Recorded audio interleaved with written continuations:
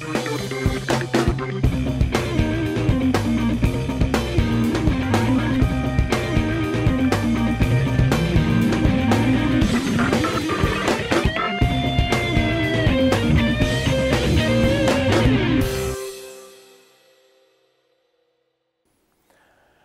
Benvenuti al nostro TG Sport, cari amici di Telemolisi. In apertura vogliamo fare degli auguri ad una persona davvero speciale, tra l'altro una mia cugina, Mena Di Lallo, che proprio oggi festeggia il suo 92esimo compleanno. Eh, Mena è stata una insegnante elementare sempre eh, molto attenta, sempre molto disponibile nei confronti non soltanto degli, degli alunni ma anche dei suoi colleghi e quindi eh, di tutto il mondo della pubblica istruzione. È stata una moglie attenta e rispettosa eh, della famiglia ed è stata soprattutto una mamma eh, davvero eh, geniale perché in alcuni momenti della sua vita ha saputo offrire tutto il suo supporto alle figlie. E quindi eh, una persona che io ho sempre considerato molto vicina perché insomma ci sono, eh, ci sono dei parenti che spesso non si vedono ma invece Mena è stata sempre presente nella mia vita e mi fa eh, piacere tra l'altro che lei segue sempre attentamente eh, queste trasmissioni dove in realtà c'è suo cugino e ehm, questo ha sempre rappresentato un motivo d'orgoglio per lei. Di questo la ringrazio sinceramente e le sono eh, francamente devoto, per cui in questo giorno speciale che segna un traguardo importante ma che insomma, rappresenta anche un momento per il futuro, ebbene in questo giorno speciale voglio davvero augurare a Mena eh, tutta, eh, tutta, la, ehm, la ehm, fortuna insomma, che ci vuole anche in queste circostanze e soprattutto una eh, vita densa, eh, ricca di emozioni che, che, che, che so perfettamente che è stato sempre un suo obiettivo di vita. Quindi tanti auguri a Mena, tanti auguri alle figlie Elvi e Luciana e al nipote Giorgio che certamente eh, condivideranno questo momento eh, di felicità, questo momento insieme a lei. Quindi un augurio specialissimo da parte mia e da parte di tutta la redazione sportiva di Telemolise. Adesso il calcio a 5. Per il campionato di Serie A2 Girone C quinta giornata si giocano Budog Lucrezia, Tombesi Ortona, Cus Molise Futsal Cobar, inviati invece Pistoia, Manfredonia, Futsal Capuzzo, Castelfidardo. Si giocano sempre domani Giovinazzo, Rutigliano e Visgubbio Atletico Cassano. Per il girone B ancora turno di riposo per la Chaminade, si giocano solo due gare e precisamente San Michele Itria e Sporting Venafro Torre Maggiore. Domani alla Pala Unimol è in programma la sfida tra il Cus Molise e la Futsal Coba. Quinta giornata di campionato nel torneo di A2 di futsal. Il CLN Cosmolise riceve al Pala Unimol i marchigiani del futsal Coba. Momento sicuramente particolare non solo per il calcio a 5 ma per tutto lo sport nazionale. In settimana con una lettera congiunta 11 club tra cui Atletico Cassano, Futsal Capurzo e Rutigliano del girone del CLN Cosmolise e Aquile Molfetta, Barletta Bitonto, Futsal Club Canosa, San Michele e Mirto militanti insieme alla Chaminade nel girone G di Serie B. Queste società hanno hanno chiesto alla divisione calcio a 5 di sospendere i rispettivi campionati per una serie di motivazioni. Se da un lato le motivazioni sono condivisibili, vedi protocollo troppo leggero che favorisce i furbetti a non scendere in campo, dall'altro le società hanno palesato delle difficoltà che erano ben note all'inizio di questa stagione, ad esempio le porte chiuse, i mancati incassi, le sponsorizzazioni che latitano il rischio di avere rose con assenti per Covid, i rischi da assumere nello svolgere attività sportiva. Insomma, non ci diciamo nulla di nuovo con condizioni chiare dal primo momento in cui si è deciso di iscriversi al campionato. La divisione nazionale calcio a 5 ha tirato dritto in attesa del nuovo protocollo presto operativo per il mondo dei dilettanti. Ricordiamo che il calcio a 5 rientra nella sfera della LND. Si va avanti dunque domani alle 16 regolarmente in campo CLN Cusmolise contro il Futsal Cobà.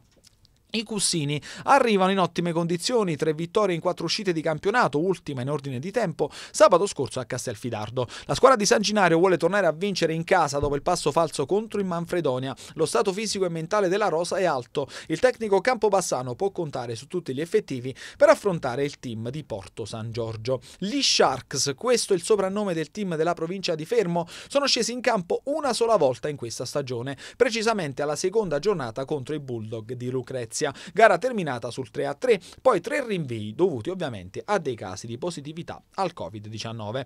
Una squadra che non ha ancora effettuato il cosiddetto rodaggio, elemento che potrebbe favorire il Cusmolise, al contrario la voglia e l'entusiasmo nel tornare in campo è senza dubbio un punto in favore della squadra guidata da coach Leonardo Campi Fioriti, da tre anni alla guida degli Sharks. Roster di esperienza tra tutti il pivot italo-brasiliano Luis Borsato, il laterale sempre verde-oro Michael Svierkowski ed il laterale spagnolo Ugo Bernardo Fernandez. Tre giocatori oltre i 30 anni che da una vita navigano nel futsal italiano d'elite. Un roster da prendere con le molle per Barrichello e compagni pronti a lottare per mantenere i piani altissimi della classifica. Ovviamente ci sono tanti recuperi da giocare, detto questo la posizione da vice capolista è il giusto premio per una società che ha saputo programmare e investire nel modo giusto, una società capace di crescere anno dopo anno con la volontà di confermarsi a livello nazionale. Secondo turno di riposo per la Chaminade Campobasso nel torneo di Serie B, nel girone G sabato scorso si sono giocate due gare su cinque. Anche qui i rinvii sono all'ordine del giorno. Al contrario, la Chaminade non è scesa in campo e non giocherà neanche domani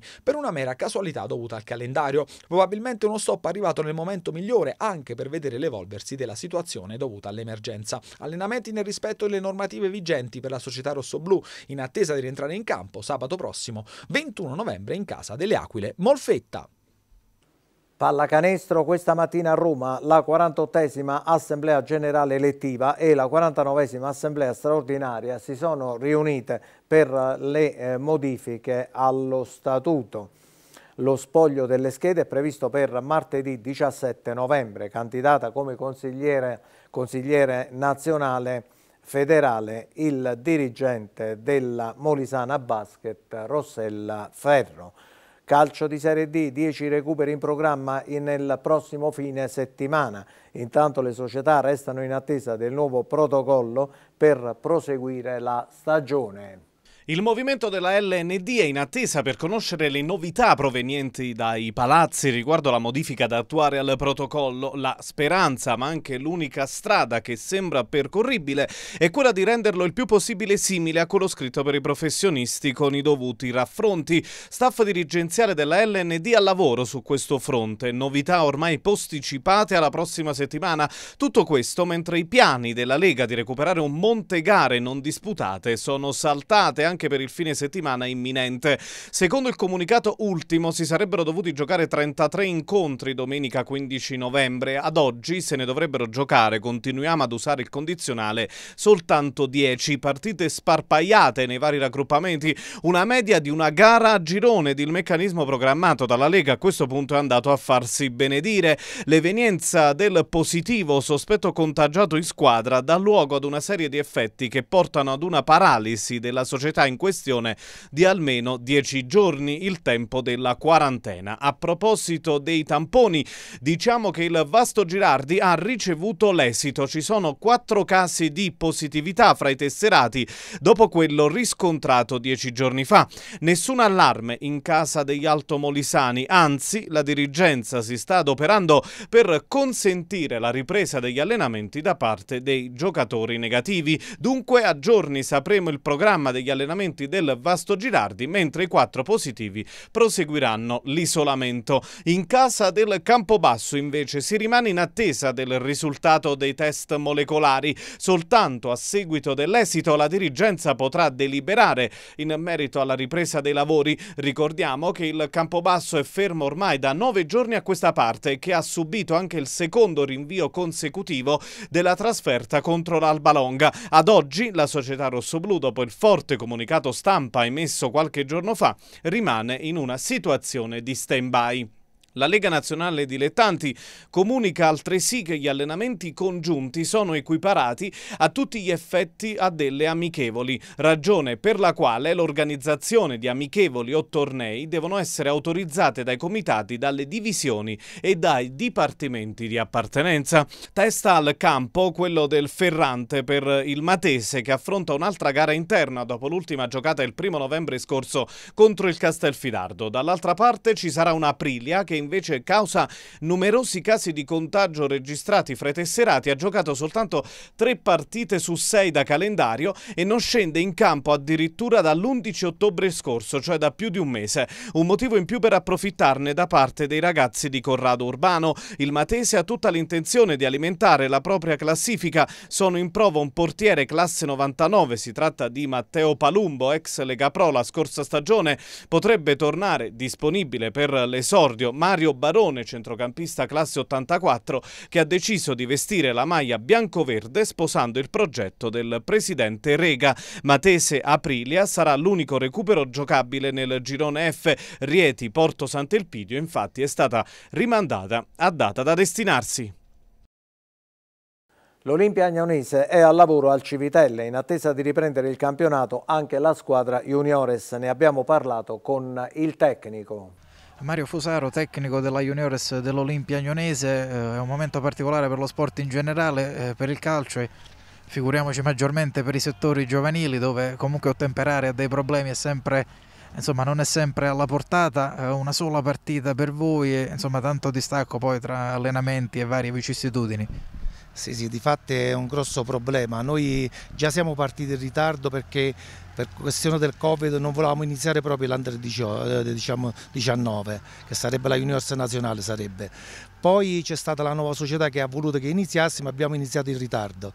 E purtroppo poi abbiamo fatto la, diciamo, dopo due giorni abbiamo fatto la prima partita eh, che sarebbe stata la seconda del campionato e poi ci hanno sospeso completamente in modo aspettiamo con i recuperi se si riesce a fare qualcosa, anche se ho qualche dubbio. Avete un recupero eh, 20, ad oggi, eh, il 23 novembre, eh, contro il Castelnuovo Vomano? Sì, sì, abbiamo questo recupero che sarebbe stata la prima partita che noi non abbiamo, l'abbiamo rimandata perché non eravamo pronti e poi abbiamo un altro recupero con la Vastese. Poi eh, aspettiamo, però torno a ripetere, come stiamo è difficile. Io di fatti do pure una mano alla, alla prima squadra e poi faccio un po' di juniors per questi ragazzi che sono alla buona parte di Agnone. Possiamo dire però che eh, la nuova proprietà insomma, ha dato manforte ma soprattutto ha risollevato un po' eh, le sorti anche a livello insomma, di morale, ci sono più motivazioni per lavorare? No, no, diciamo che la nuova società attualmente è una società di calcio, cioè presente in tutti gli aspetti e sotto tutte le forme, diciamo che di fatti era partito con la scuola calcio che prima non si faceva, la juniors nazionale è la prima squadra dove ha cambiato quasi tutto, i, diciamo tutti i giocatori precedenti è presente, insomma, ha rinnovato una, una buona squadra. Ora possiamo dire con la sospensione anche della juniores c'è forse più spazio proprio per qualche ragazzo per essere visionato. Sì, sì, sì, senz'altro, però io mi auguro che si riprenda la juniors perché ci stanno parecchi ragazzi di Agnone che hanno possibilità di giocare futuramente, diciamo nel futuro anche in prima squadra. Ecco, un'ultima cosa, per quel che riguarda i protocolli, insomma, a prescindere eh, dai dilettanti, su quello del settore giovanile, crede che insomma, bisogna, eh, bisogna un po', eh, ci deve essere un'emulazione completa? Sì, sì, noi bene o male lo applichiamo, però ci vuole, io credo che a livello nazionale, sia per i ragazzi che per eh, anche la Serie D, devono fare un protocollo dove se c'è sta un positivo non si può rinviare una gara, cioè nel senso cioè, dopo due o tre, però fare il protocollo non dico come da Serie A, ma più o meno, se no eh, chiudono, è meglio chiudere. Attivo il sostegno del governo. Ricordiamo che fino a martedì prossimo le SSD e le ASD titolari di un contratto di locazione potranno collegarsi al sito www.sport.governo.it per presentare istanza di rimborso per le spese di affitto e per un contributo per le spese di utenze e per eventuali costi sostenuti per le sanificazioni chi ha già ricevuto il fondo perduto la scorsa volta non deve ripresentare la domanda perché lo riceverà automaticamente. L'ultimo decreto del Presidente del Consiglio ha interrotto l'attività delle sale fitness e dei corsi di gruppo organizzati nella struttura di Michele Ricciardi, una delle più accreditate su tutto il territorio regionale. È, è rimasta regolarmente aperta l'area fisioterapica che ha ampliato anche la sua offerta con il D-Wall macchinario ad alta definizione tridimensionale che permette di svolgere esercizi di potenziamento muscolare e riabilitativi, tutto nella massima e corretta postura.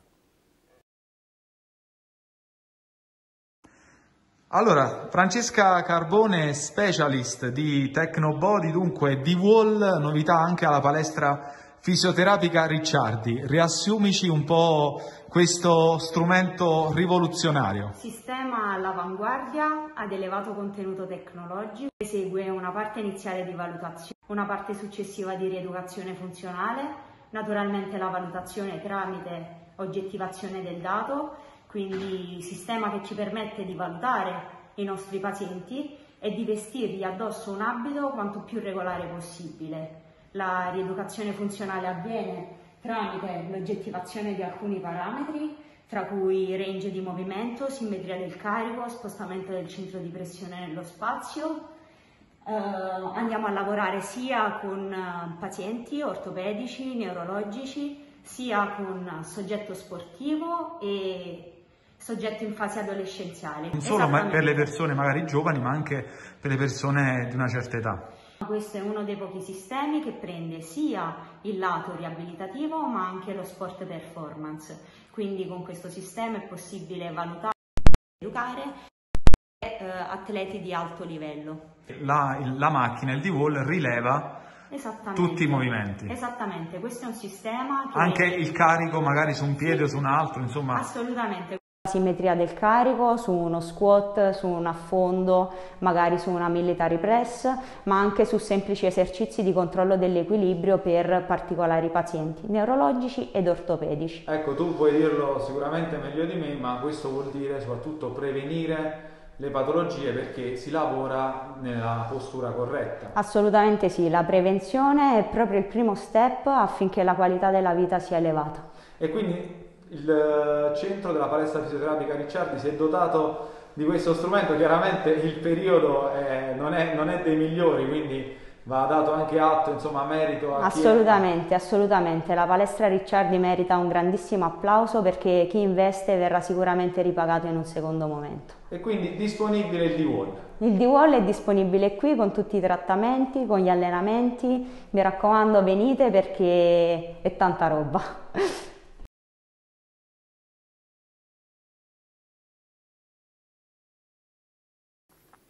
Ginnastica ritmica domani a San Giorgio a Cremano, in programma la terza prova del campionato di zona tecnica 5 se, eh, Serie C a squadre che vedrà la partecipazione di atlete dello Sporting Bovianum e della Futur Gimnica di Termoli.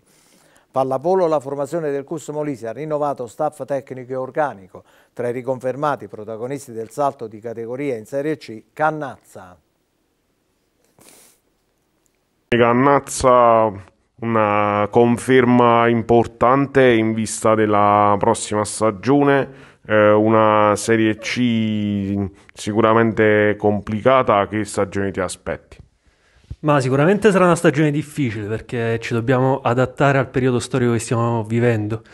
Però penso che possiamo fare bene perché sono arrivati tanti giocatori forti, giocatori che questa Serie C l'hanno vinta, quindi siamo tenuti a fare bene in questo campionato.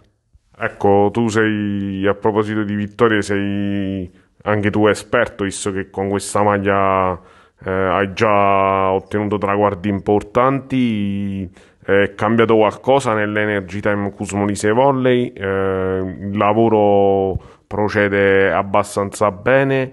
Eh, dove pensi si potrà arrivare con il supporto e l'aiuto di tutti? Ma il lavoro procede bene, stiamo facendo una buona preparazione fisica. Io sto qua da sei anni, mi sono sempre trovato bene. Eh, la squadra è cambiato tanto negli anni e adesso è cambiata anche parte della dirigenza. Eh, noi vogliamo provare a vincere questo campionato. Eh, speriamo di riuscirci. Ecco, un passaggio eh, credo doveroso anche per quanto riguarda la guida tecnica, è arrivato un allenatore di esperienza come Mariano Maniscalco, eh, cosa vi ha trasmesso finora e cosa a tuo avviso potrà ancora dare alla squadra? Eh, Mariano è un grande allenatore, l'abbiamo visto l'anno scorso sulla panchina di Agnone. Penso che ci potrà dare sicuramente degli stimoli nuovi. Eh, poi un grande allenatore, quindi un grande tecnico e molto forte. Campionato in generale, ehm, per te che giochi da, da tanti anni, come, come lo giudichi, cosa ti aspetti? Ci stanno sicuramente tante squadre forti. Noi sarà una stagione difficile, ripeto, perché comunque già è stato rimandato l'inizio del campionato, speriamo non venga rimandato di nuovo. Sarà difficile eh, allenarsi perché bisogna tener conto di tutte le difficoltà legate appunto al periodo però speriamo si inizi al più presto. Ecco, sport, eh, ma non solo, al Cusmolise anche la prevenzione eh, è una cosa che va di pari passo con, con il campo, eh, siete attentissimi anche a questo aspetto. Sì, assolutamente, siamo molto attenti. Non è facile essere sempre attenti o comunque non fare le docce post allenamento, però ci dobbiamo adattare purtroppo perché il periodo è questo. Calcio giovanile, attività bloccata per la scuola calcio Santissimi Pietro e Paolo. La stagione dei giovanissimi regionali era regolarmente partita, appena tre le gare disputate prima dello stop. Ne abbiamo parlato con l'allenatore.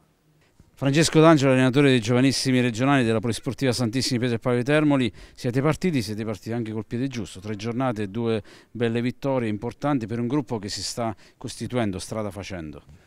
Sì, siamo partiti bene, poi ci siamo dovuti fermare cause forze maggiori. Ci stiamo comunque continuando ad allenarci. Si fa il possibile ovviamente mantenendo le, le distanze, però l'importante è non fermare del tutto la macchina sperando che si possa reiniziare il prima possibile. Per te il primo anno con questa squadra, l'anno scorso avevi, avevi i provinciali, diciamo che sono i provinciali dell'anno scorso che sono scalati ai regionali, giusto? Sì, da un po' di anni che stiamo lavorando con il Biagno, quindi partiamo con eh, il provinciale per poi portarci eh, l'anno successivo al regionale.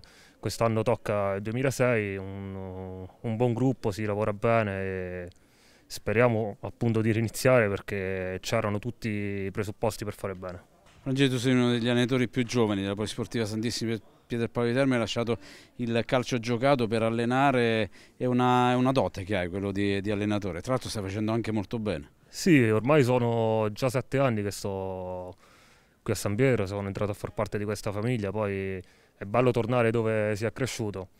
Noi, sia io che Massimo Ricci, che Moreno Manginone, siamo tutti cresciuti qui nella, nella polisportiva, ci siamo rientrati in altre vesti. È bello ritrovare poi colleghi come Lino Miele che ti hanno allenato, adesso li ritrovi al tuo fianco.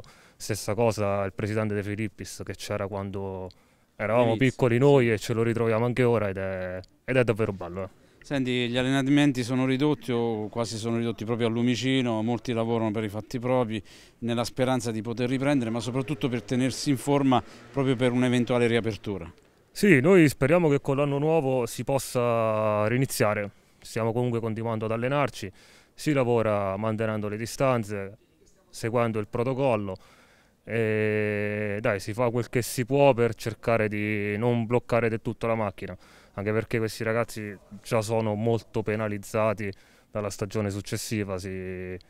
hanno tanta voglia di fare, quindi cerchiamo di andare avanti. Bene, è tutto per questa edizione del nostro TG Sport. Buon pomeriggio.